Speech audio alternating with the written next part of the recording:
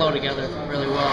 Yeah, um, my first game together was line today, and I played with Sauve um, a little bit uh, my first year at uh, the rookie camp, and me and him seemed to have a little bit of chemistry, and it's my first game playing uh, for Jamie Tardif, but he's a great player, you know. Uh, he's got lots of experience, uh, he knows what he's doing, and uh, he's a great player to play with. So. Can you just run us through the uh, goal that Jamie had, just what you saw in that play, how it developed?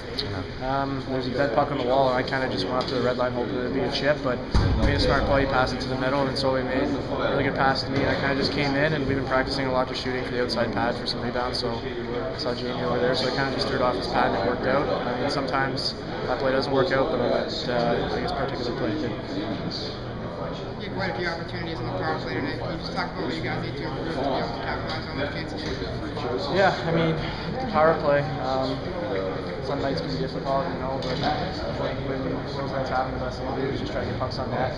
Um, just try to keep it simple, you know, if you try to make pretty plays, that's when you get yourself in some trouble. So, um, what you gotta do is just get the puck to the top, get pucks on net, and it's good fun. I feel you guys had a lot of chances on the power play. Just wasn't there. Um, yeah, I think we had some chances. You know, uh, there's a couple ones, uh, a couple turnovers here and there, but those are some, I guess, growth games right now. Uh, it's going to happen in the team, so um, practice it. I think with the turnovers.